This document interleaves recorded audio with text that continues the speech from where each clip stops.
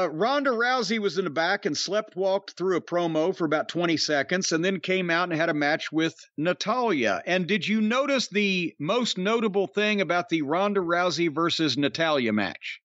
Was it Ronda wearing the red shirt? No, it was Ronda Rousey's entrance to the ring with music came at the top of the 9 p.m. hour. So they may not have any very many stars on this program, but they know where to put them. Again, a simple Vinceism. Top of the hour, and to a lesser extent, the bottom of the hour, you need a star headed to the ring or in the ring. So, again, you know, eh, Natalya tried here. Ronda took over almost immediately. Her judo is great. Her work is herky jerky and awkward. It's not smooth at all. She's not getting better. I don't know that she's trying. I I think by everything you can see from Ronda Rousey that the bloom is off the rose for her on this wrestling thing. And she's doing it now because she signed a contract. I don't see her having a ton of fun.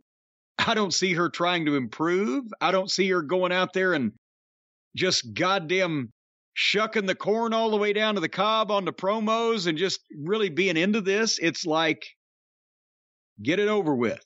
And that's the way we feel watching her at this point.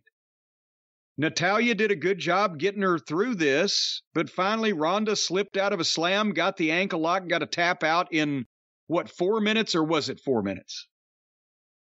And then music plays, and here comes Liv Morgan out with a baseball bat.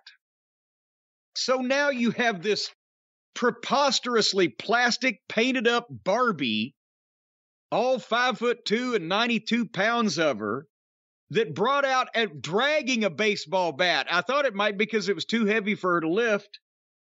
And then they stand there and face each other, her and Ronda. And then she goes to swing the bat at Ronda, and Ronda just boots her in the stomach and stops her. and then she goes to swing again, and Ronda ducks out of the way, and Liv Morgan hits the ring post three feet above where Ronda Rousey's head was. I mean, that there was no chance of an accident here. There was. Eh, why would you even do something like that? You can see where the human being in front of you is, right? So swing, and if they don't move, apologize, right? But if you know they're going to move and you're making any attempt to try to make it look good, you're going to swing somewhere in the vicinity of where their head was, right? Try to go maybe right over the top or to the side or just hope they duck or whatever. No, let's three feet just to make sure. And then Ronda Rousey gave Liv Morgan, all 92 pounds of her, her Piper's Pit finish on the floor. And 10 seconds later, by an actual count, Liv Morgan is up fighting with Ronda with a tug of war over the bat. And then Ronda flipped her over the rail and walked off, picking her shorts out of her crotch. But Liv comes from behind and they have a big pull apart. This would have been good with anybody but Liv Morgan.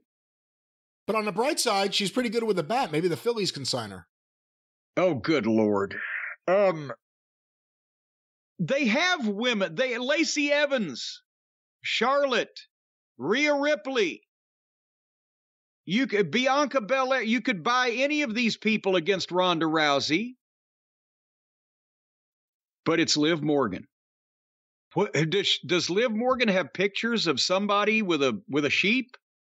Or maybe in Japan, maybe here. I'm not quite sure, but you know, I think part of the problem, and maybe I'm wrong because I'm not a big WWE modern fan, but I feel like Liv Morgan's less over this week than she was a month ago, than she was two months ago, as they were trying to build her into something here. I feel like the more we've seen of her, the less over she is with their audience, unless I'm wrong, but based on the reaction, based on watching this stuff, I'm not sure what they're doing. But look, the women's divisions everywhere are a mess. You brought up Charlotte. We haven't seen Charlotte in forever. Who's the other name? Here? Lacey Evans. Lacey Evans got put through a table last week. The first time I've ever seen a woman destroyed like that on TV was on this show last week by Liv Morgan. By Liv Morgan. Yeah, so we don't even know if we'll see her again. Because what a way to write someone off TV than that. Well,